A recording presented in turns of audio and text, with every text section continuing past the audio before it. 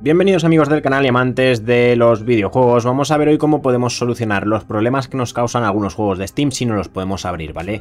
Esto va a depender bastante de cada juego, pero yo lo que voy a hacer es daros unos consejos para generalmente todos los juegos y si aún así estos no funcionan, decidme qué juego es el que os falla en comentarios e intentaremos solucionarlo, ¿vale? Vamos a coger un juego estándar como puede ser Counter-Strike, ¿vale? Para tomar nuestro ejemplo. Vamos a hacer cinco cosas diferentes, cinco pruebas diferentes para tratar de solucionarlo. Lo primero que tenemos que hacer es, bueno, una vez ya la hayamos dado a jugar y no se nos abra el juego, pues tendremos que irnos aquí a la biblioteca de Steam, haremos clic con el botón derecho donde tengamos el juego que queremos arreglar y le daremos clic donde nos dice propiedades. Esperaremos a que se nos abra esta pestaña y aquí tenemos la configuración antes de iniciar el juego. Tenemos el general, actualizaciones, archivos locales y demás. Bueno, es archivos locales donde tenemos que fijarnos y tenemos que hacer lo siguiente. Primero, tendremos que, lo primero de todo, verificar la integridad de los archivos del juego. ¿Por qué? Porque esto va a hacer un chequeo de todos los archivos que tengamos de Counter-Strike, los verificará y si hay alguno que esté corrupto, pues nada, lo desinstala y lo volverá a instalar de manera correcta. Entonces le daremos clic y esperaremos a que termine esto, que suele ser bastante rápido en juegos que no pesen mucho o más pesado en juegos con más gigas de ocupación en el disco, ¿vale? Cuando hayamos terminado esto, podremos también realizar una copia de seguridad de los archivos del juego, que esto sería para guardar nuestro progreso en caso de que tengamos un progreso iniciado en el juego y no lo queramos perder, pues por si se nos reinicia, en Counter-Strike no habría problema, pero en otros juegos de guardado local, pues sí, como puede ser el Fallout o el Terraria, y entonces también tendremos la opción de mover carpeta de instalación, que esto será si tenemos varias particiones en el disco duro o directamente dos discos duros. Podremos elegir moverlo a otro. Nosotros lo tenemos en uno, pues lo podemos mover a este de aquí con 142 GB disponibles, que quizá también sea vuestro problema, así que chequear que tengáis espacio suficiente. Una vez hayamos hecho esto, recordar también que mover la carpeta de instalación tendrá que ser cuando se termine la verificación de los archivos del juego, le daremos aquí al botón de explorar. ¿Esto qué va a hacer? Pues mirad, nos va a abrir la siguiente pestaña, o mejor dicho, la siguiente carpeta, que es donde tenemos aquí el Counter Strike en concreto. ¿Qué tenemos que hacer? Pues mirad, localizaremos la aplicación de Counter, el inicio rápido, el launcher vaya y le daremos clic con el botón derecho y lo ejecutaremos como administrador, ¿vale?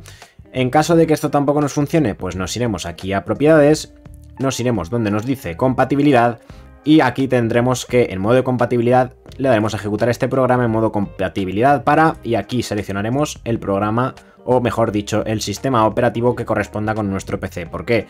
Porque es posible que tengáis versiones de Windows anteriores a Windows 10 y que por eso no os inicie. Entonces seleccionar vuestra versión en caso de que no tengáis Windows 10. Si no es así, pues nada, le daríais y ya está. En caso de que sea así, pues le daríais luego a aplicar y a aceptar para cerrarlo. También es importante que, por ejemplo, en Counter-Strike no, pero en otros juegos, como puede ser Project Zomboid, sí que tengáis un problema en concreto. Mirad, nos vamos a propiedades, igual archivos locales, explorar y bajamos. ¿Qué pasa? Que tenemos aquí dos archivos de aplicación. Fijaos, tenemos el Project Zomboid 64 y el 32. Esto viene a ser por la configuración o la estructura de nuestro sistema operativo y tendremos que iniciar o bien el de 32 bits, si es en nuestro caso, o el de 64. Para esto tenemos que saberlo. ¿Cómo lo podemos saber? Pues simplemente nos vamos aquí abajo, escribimos equipo, nos iremos a este equipo y fijaos ya que le daremos aquí a propiedades y ya nos sale que el tipo de sistema operativo que tenemos es de 64 bits, procesador por 64. ¿Eso qué quiere decir? Pues que tendremos que iniciar el Project Zomboid de 64. Si tuviéramos el de 32, pues el de 32. Y es lo mismo, botón derecho, ejecutar como administrador.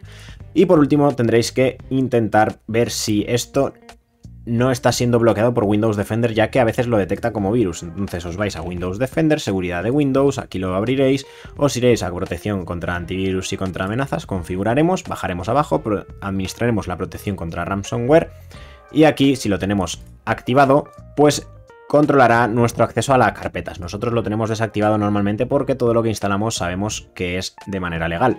Pero si lo tenemos activado, tenemos aquí un historial de bloqueos que podemos consultar, fijaos, ¿vale? Y incluso podemos coger y permitir que una aplicación acceda a una de las carpetas controladas. ¿Qué quiere decir? Que le daremos acceso.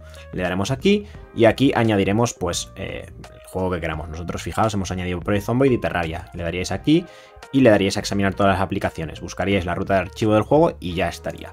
Estos son algunos de los trucos o consejos o maneras para tratar de solucionar los errores en Steam si no os inicia. De todas formas, lo que os he dicho al principio, escribidme qué juego tenéis el problema y veremos a ver cómo podemos solucionarlo.